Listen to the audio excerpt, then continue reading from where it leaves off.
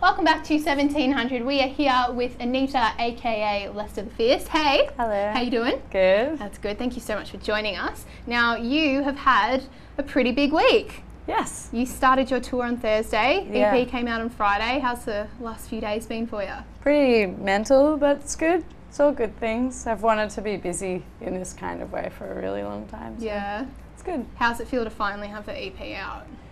Good. It happened really quickly, so I kind of don't have that same sense of release or relief as I've had previously, but it's good. I think it, it's getting really good response, so it's all I can really hope for and see how it goes. Yeah. And so you started your tour. How have the shows been? How have people been like rece- receiving the, the new stuff? Really well. A lot of people who've known me in the past, I've just done really kind of folky acoustic stuff, and this is quite rock and roll. A lot of it, so it's um it's been good. It's definitely first time my friends and family have seen this Yep. sort of version of it. So I think it's good. I've yeah, I've, no one's come up to me and said, yeah, that was really bad, you know, or But you're, like get, you're getting people dancing though. That, that's- yeah, that's well, Oh, moving like kind of. moving their heads in sort Ah. of like nineties. Yeah, stoner nice. Sort of way. That's sort of more. I think. Well, that's good. Yeah, That's still- we that wanted to ask you because you were in New York spending some time there and mm. saying now that you've sort of got a heavier sound, how much of an influence do you think does New York have on, you know, your progression as an artist? Probably a lot. Actually, I've not really thought of it like that, but I think that's a good thing to bring up Yeah.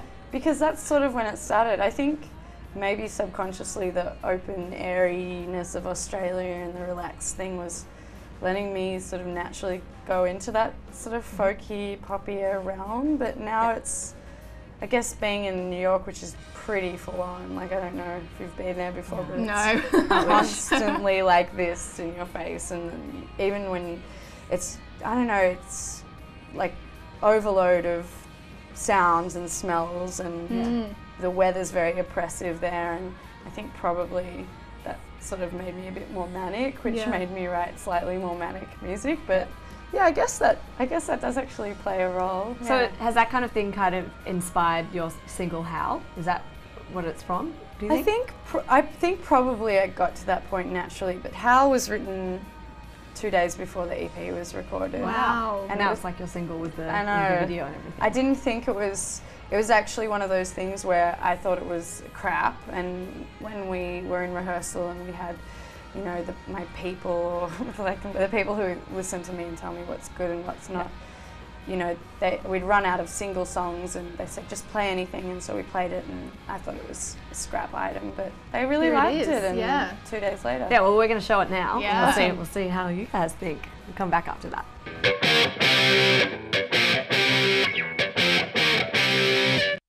So that was a really awesome clip. Thank you. Apparently, your brother uh, made that or my directed beautiful brother made that clip, yeah, with some friends of his. Um, yeah. So cool. It's a really good clip. Yeah, how was that though? Because you studied film in uni, so you're kind of giving him the creative control, giving it to the bro. Yeah, it was. It's funny because he didn't study film. He's just one of those people that's purely like natural at it. So Oh.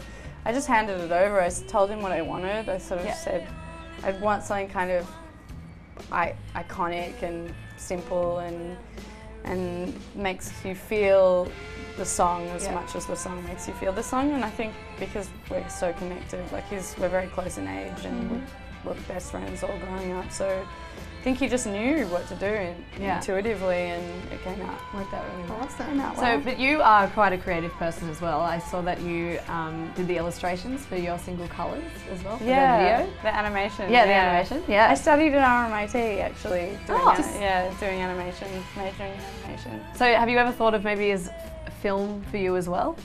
Um, yes, I I don't know. It's one of those things that I I maybe will come back to, but I didn't want to study music. I thought that if I'd Yeah. studied music, it would be overkill, and I didn't Yeah. want to study art, but for the same reasons. So it was sort of somewhere in between. I love film. I'm Yeah. a huge cinephile. I watch a lot of movies. Yeah. And, Yeah, we're because we're actually talking about um, musos and movies on today's show because One Direction's film comes, comes out, out. on Thursday. So Yes. yeah, Oh, I I know, know. right? Because everyone's been waiting for it. But what do you think about um, you know musicians using uh, film as like a documentary style thing? Like, w- is that something you would do yourself? Like, Or is it kind of a marketing, you know? Well, I think that, that some of my favourite, my favourite music documentary is Dig, which is about the Dandy Warhols and Brian Jonestown massacre. I think, I mean, the, the George Harrison documentary was amazing. I think mm-hmm. there's some really amazing documentaries about Yeah. music. So maybe that could be on the cards for you. I'd love to do mm-hmm. that. I feel it's a bit self-indulgent. Yeah. to do that. hey guys, no, but we have actually two mini documentaries about the EP recording Oh, that are coming out. So Is that online? Nice. It will be. We'll, Oh, we're nice. releasing them in the next month. Awesome. So it- that'll be good. They're just two five or seven minute pieces each. One's from my point of view and one's from the producer's point of view. And oh, That's interesting. and that is sort of my hand in the film pie. I Yeah. don't think that's the Awesome. same. Film pie the is film now. pie. yeah. That's fine. Well, shortly you're going to perform for us. You're going to perform "Let the Rain." So, just quickly before we go to that, that's off the upcoming album. Mm. When can we expect to hear that? I hope, hopefully next year, mid next year. That's sort of the aim, but you never know. Like things get pushed back. Yeah. I, I'm thinking mid to late next year is when it'll come out. Yeah. Well, thanks for joining us. Thanks so It was really for nice having talking me. to you, and We'll we'll see see you- you after the break.